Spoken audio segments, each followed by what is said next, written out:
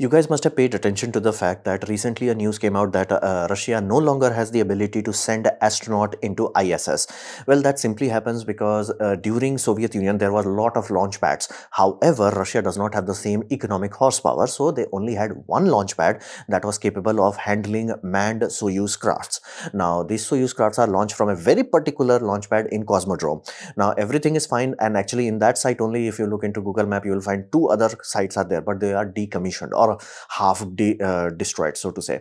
So this launchpad is basically sole launchpad that works. Now here's deal.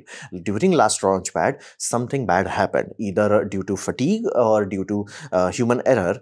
Uh, basically the dock that is on the bottom section of the launch tower uh, basically uh, it's a deck basically that goes below the rocket and basically allows technicians to work and connect everything. Uh, that's supposed to be docked and locked it failed to be either docked or locked. And basically when they fired the rocket because of rocket creates very high flow rate it creates a suction force almost like a venturi effect. So if you do not have anything around it that is well locked down it will be sucked into it. Does not matter how many tons. So this whole section or gantry if you will that was sucked out of it. And because there was no water deluge system these things generally have a, a giant basin basically a deep pit. So it fell and it fell hard.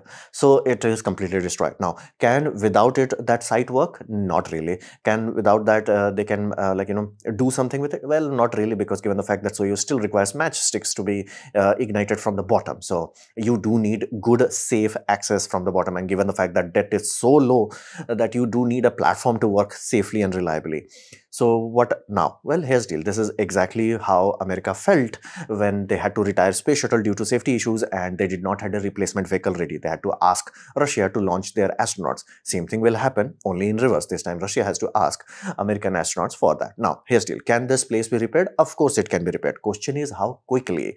Uh, now, given the prestige of the factor and given the importance of it, I'm reasonably sure they are moving heaven and earth to do it. Question is, can they do it? If they can do it within nine months uh, basically before the next launch window everything is fine and dandy. If they fail to do so this would be bad. If they take way too long this would be really really bad. So let's see how it unfolds